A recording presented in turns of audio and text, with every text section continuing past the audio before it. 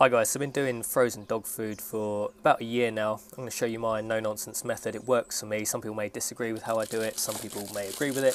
Basically, I'm just here to show you how I do it. So, this is Bulmers uh, frozen dog food. These are 454 gram packets. In this case, these ones are chicken and liver in a ratio of 90 90% chicken, 10% liver. They do all different types. Usually, when I go down there to the pet shop, I'll buy like just a day's worth of just a different one as a bit of a treat for them. So this is minced turkey. These these ones are one of the sort of better value I think ones they sell. So these ones are 45 pence for a packet, and they come as a tray of 30. So a tray of 30 set you back 13 pound 50.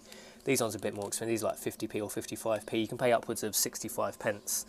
Uh, for a bag of dog food in the same size, just depending on what it is. Like you can get salmon, you can get duck. Those ones are just more expensive.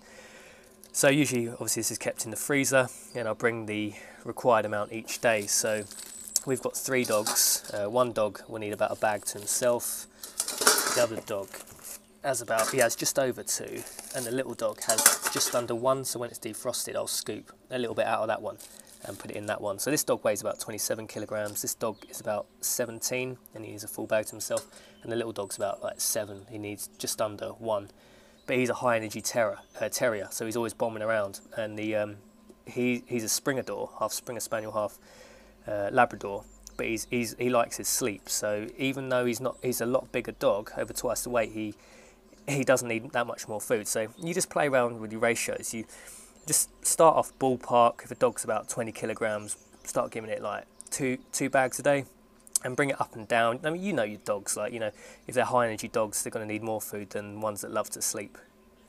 So I'll normally get these out of the freezer on a normal day about 7 in the morning and then I find by about 5, 6 they're fully defrosted. Obviously depends on the weather. In the winter time, uh, sometimes I just have to leave them in the kitchen to defrost, but normal day, anything above 8, 10 degrees, they're usually defrosted by, by about 5, 6, depending on sunshine, things like that.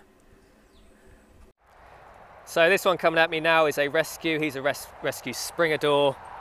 The blonde one there is also a Springador. We had him since a pup, and then we got the little terrier slash spaniel as well, and he's a rescue. So these are our dogs. They come up to this field each day.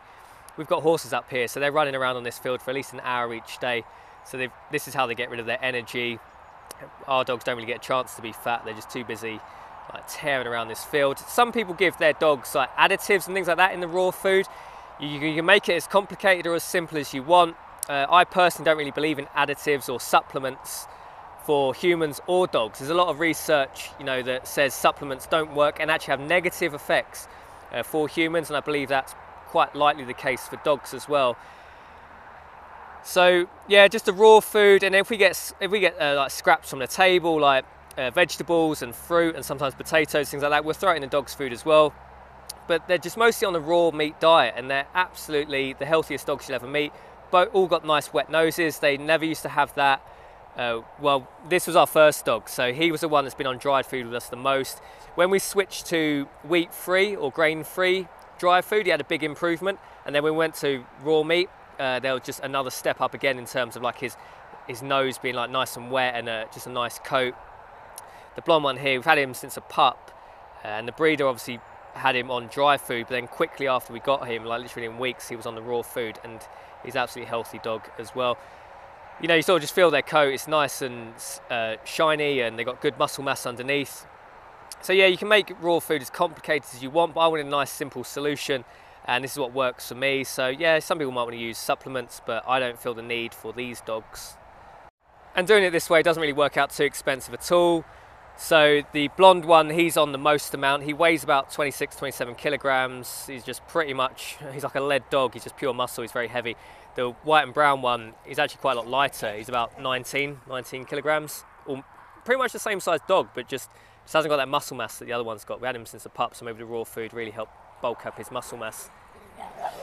But even this one here only costs 90 pence a day to feed him, or maybe just slightly over 90 pence because he actually has just over two packets and the other two cost like 45 pence a day. So I think that's cheap. You'd pay a lot more if you're buying really expensive uh, dried food. And I think raw meat from Bulmers is, you know, other brands are very. I just use Bulmers because that's what the local pet store sell. But I think 45p a day to feed a smaller dog is brilliant, and even 90p a day to feed a bigger one is also really good value. Off you go.